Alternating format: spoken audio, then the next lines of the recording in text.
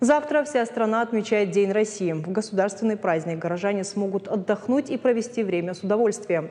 Для нашей республики день особенный, поэтому и готовятся к нему основательно. Главные мероприятия пройдут в столице. Для жителей и гостей республики готовят разнообразную программу. Подробности в нашем следующем сюжете.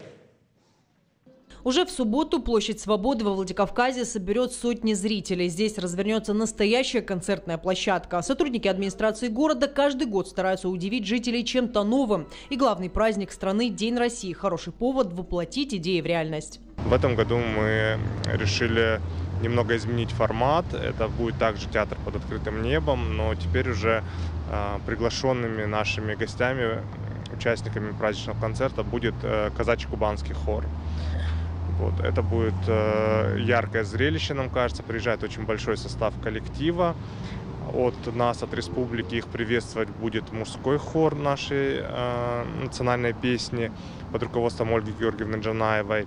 Это будет такой вот совместный э, концерт. Для удобства зрители организуют сидячую зону. Вход на концерт будет свободным. Начало в 7 часов вечера. По словам организаторов мероприятия, в этом году зрелищное шоу ждут особенно, поскольку в прошлом из-за ограничительных мер все мероприятия приходилось проводить онлайн или вовсе отменять. Чем больше будет гостей, мне кажется, тем будет приятнее выступающим на сцене в этот день, потому что соскучились по таким вот большим мероприятиям. Атмосфера праздника будет царить и в Центральном парке города. Министерство национальных отношений республики совместно с Североостинским университетом готовит праздничную программу. А вот на открытой площадке «Ракушка» студенты и выпускники факультета искусств СОГО организуют тематический концерт. В нем примут участие представители национально-культурных обществ Северной Осетии. Жители и гостей республики ждет насыщенная программа с танцами, песнями и стихами.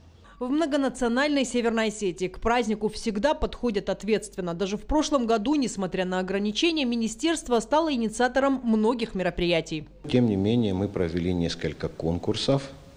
Детишки читали стихи о России, рисовали, снимали какие-то видеоклипы, которые размещали в интернете.